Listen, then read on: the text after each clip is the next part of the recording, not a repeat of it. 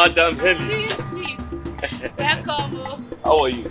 I'm fine, Chief. How are you preparing for the new year? It's on God, Chief. Okay. Um, um manage this, you and your family. Eh? Chief, Don't worry, manage it. Chief. Hold this one for me. It's for you. Manage it. Chima!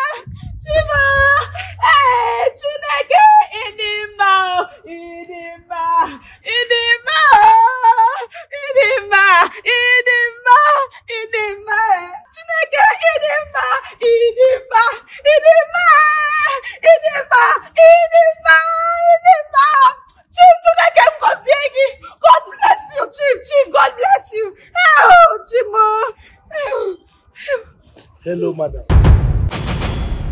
Well done, sir. If I'm not mistaken, you are Helen. Yes. Do you know me? Well, I don't know you, but the Spirit of God revealed your name and your profile to me while I was walking towards you. Well, I am Prophet Silas, the prophet of truth and justice. I can see in the Spirit that you have worked in this company for over seven years as a cleaner. Is that correct? Yes, that is true. I can also see in the spirit that as we speak, you are not married. Yes, that is true. You have engaged in several marriages, but none of them has worked. Is that correct? Yes, sir. You keep facing divorce, divorce, divorce. At a point, you just decided to stay. Exactly, sir.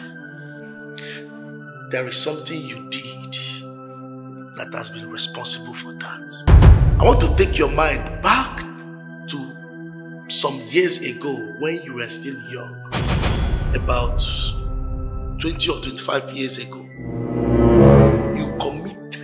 A sacrilege, you committed an abomination, and you offended an innocent soul. Can you remember?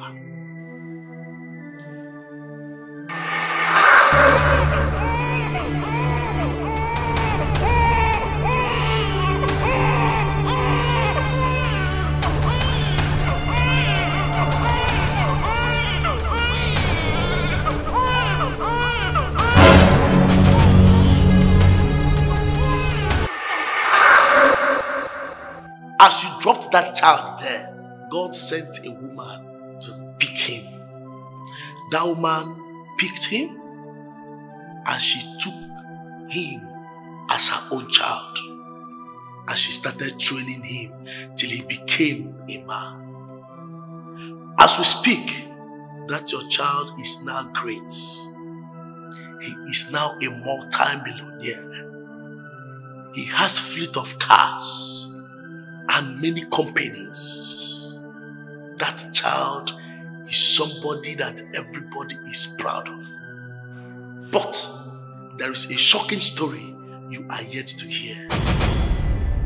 Have you seen him since that time? It's not even possible because in your mind you thought he is dead.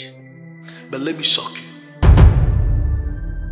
You have been seeing that your child every day. My, my son. You do see him every single day. But you don't know. How? Even today, you saw him. And not just today, you saw him few moments ago. My, my, my son.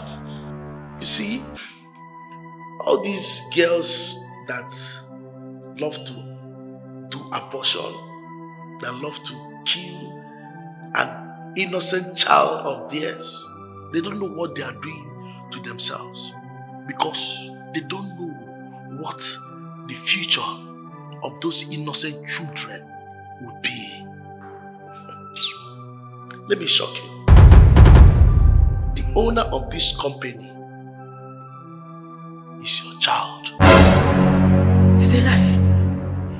It's a lie. Eh? My son, the owner of this company, is, is, is a lie. It's a lie. Haven't you noticed that he always shows you love? He gives you gifts constantly. That is blood connection. You have been suffering all this while and you have been working for your child without knowing. What a world. Well, if you want to find out, you can go and meet him and ask him some questions. There, you will understand what I'm talking about.